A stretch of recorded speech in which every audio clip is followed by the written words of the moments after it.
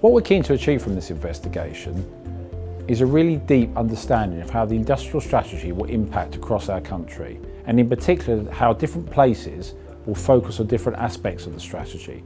The strategy in itself is a fairly high level document and what we're trying to get to is right into the depths of what it means in a particular place, which industries are impacted and how the place can shape their response to the strategy that is unique to their place and, and develops a, a really focused understanding of what their citizens need.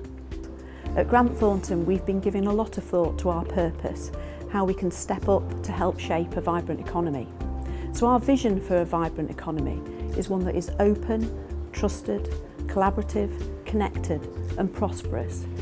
So growth is clearly a key part of driving prosperity. Uh, we, we think the industrial strategy is very important from a data perspective because whether you're looking through a sector lens or a place lens, uh, organisations and local authorities and different businesses need to understand uh, the role in which they can play within the industrial strategy. That's about understanding their sector strengths or their place-based strengths. It's also about identifying opportunities uh, and we think that the richness of data can provide a really robust insight into how they can best respond to the challenges and the opportunities the industrial strategy.